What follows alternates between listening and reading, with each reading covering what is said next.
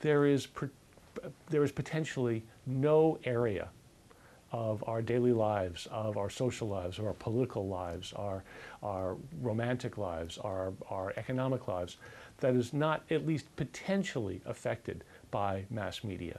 We receive so many messages about so many different things, and for as long as we've had mass media, there have been a huge range of concerns about what media are doing to us. There's this assumption that media will somehow hypnotize us or control us or tell us what to do, tell us what to buy, tell us what to vote for, can make us violent, can uh, change our sexuality even.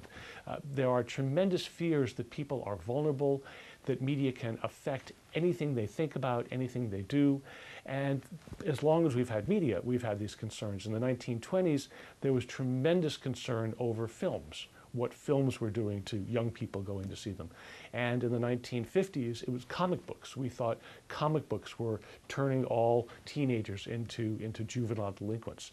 Since then, the concern is primarily focused on television. Does it make people violent? First of all, there's so much violence on television. We know from years of research that 60 or 70 percent of all programs contain violence. Overall violence is shown four, five, six times an hour, 30 times an hour on children's programs. So we worry about violence. We worry about being uh, affected by the commercials, by political discourse, by all the people that are telling us what to believe, what to do, and, and how to act and what we should be.